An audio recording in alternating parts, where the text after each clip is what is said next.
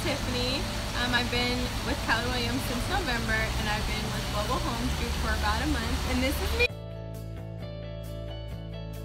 So I'm originally from Tacoma, Washington, but I moved to Birmingham, Alabama, and I've been living here for about six years now.